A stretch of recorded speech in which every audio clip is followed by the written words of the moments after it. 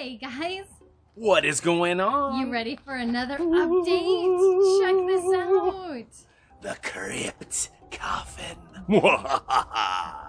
I started out with just cutting some three quarter inch plywood, some CDX, stuff you can get at Lowe's Home Depot, and I gave myself a base to start with.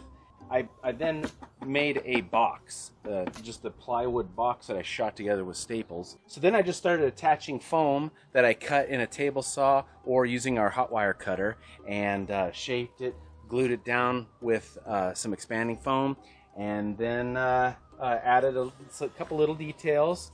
Had some scrap wood that I just ripped down to like a 3 8 by 3 8 or quarter inch by quarter inch. We had some dowel, some closet rod dowel that I just cut a hundred thousand times and shot those on to give it a little extra detail. Another detail though that I wanted to add to this one was a lot of the pictures from real uh, monuments and tombstones and crypts and stuff.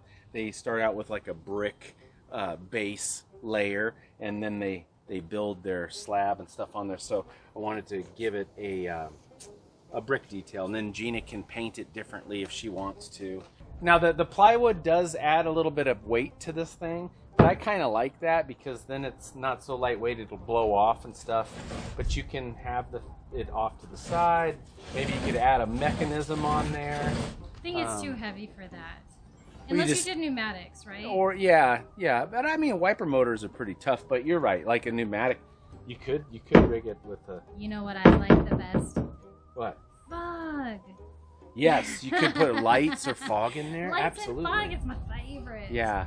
All right, so I'm working on the top of the lid to the little crypt, and uh, I've got a couple different uh, two-inch thick foam sheets that I'm working on. This one is the very top. Using the table saw, I just set it at 28 degrees, and then ran the each side through the table saw, cutting the angle. Then I took a tape measure and I measured down like an inch and a quarter, and using a straight edge, I gave myself some reference lines. Now I have this uh, little scrap piece of like two inch uh, wood dowel and then I put an 80 grit sandpaper on there and what I'm doing is I'm just carefully staying within my lines and I'm giving myself a curved contour uh, and I'm gonna go do that all the way around and then I'm gonna shape the this side going the other direction. It's a real easy technique to do and it'll give you that crown molding look uh, instead of just being a straight angle. Nice because those lines really help. As long as you still see them, you know you're safe. So the next thing to do is just round over this portion. So for that I'm just going to use some sandpaper loosely. So you can see I got the curve going on there. A sanding block may help uh, speed the process up, but basically we're changing this to create the full curve.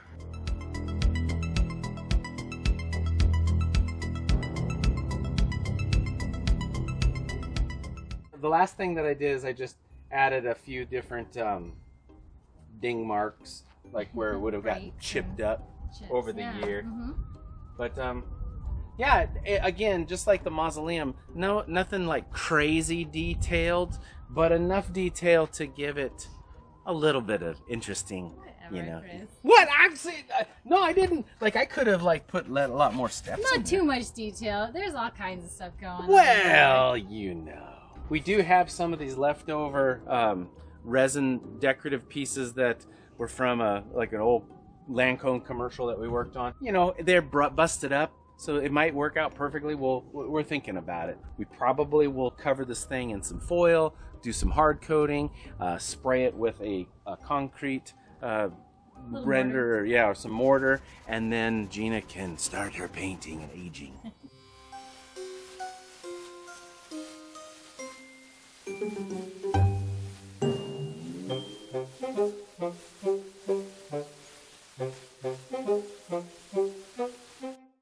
We attached all those decorative pieces using a lightweight auto body filler. Then we added texture to those pieces by dabbing on a little Drylok and mortar mixture.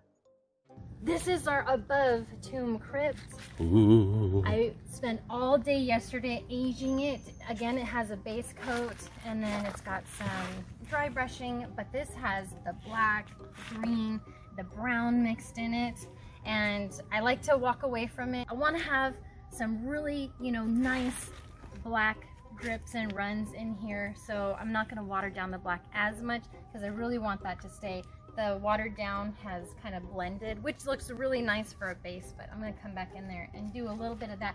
But I've gotten in all of the edges and cracks and even on the lips and stuff like that. So I think this one is almost good. I have been working on the lid as well. And as you can see, you know, I started doing this. I had to stop yesterday on that. So I've got a couple more things I want to do to this as well. And then I'll probably put the lid back on there and maybe do some consecutive yeah. stuff. No, I love how all your wash went into these little pits. That looks Yeah. it looks pretty pretty good. Yeah, and right the there. green is a mixture of three green colors, so I'm crazy. I'm kind of like a mad scientist. Yeah. I'm creating colors and stuff, but I think that's a nice base.